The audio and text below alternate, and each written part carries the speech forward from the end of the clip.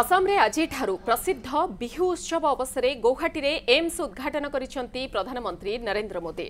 আসামে প্রধানমন্ত্রী চৌদ হাজার তিনশ কোটি টাকার প্রকল্প লোকার্পণ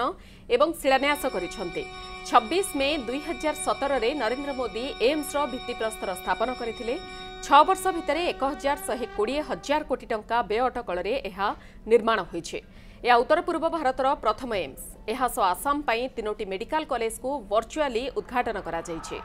ଗୌହାଟୀର ସୁର୍ସଜାଇ ଷ୍ଟାଡିୟମରେ ଆୟୋଜିତ ହେବାକୁ ଥିବା ବିହୁ କାର୍ଯ୍ୟକ୍ରମରେ ମଧ୍ୟ ପ୍ରଧାନମନ୍ତ୍ରୀ ସାମିଲ ହେବେ ଏଥିରେ ଆସାମର ଏକତିରିଶ ଜିଲ୍ଲାରୁ ଦଶ ହଜାରରୁ ଅଧିକ କଳାକାର ପ୍ରଦର୍ଶନ କରିବେ ଏହି କାର୍ଯ୍ୟକ୍ରମ ବିଶ୍ୱ ରେକର୍ଡ କରିବ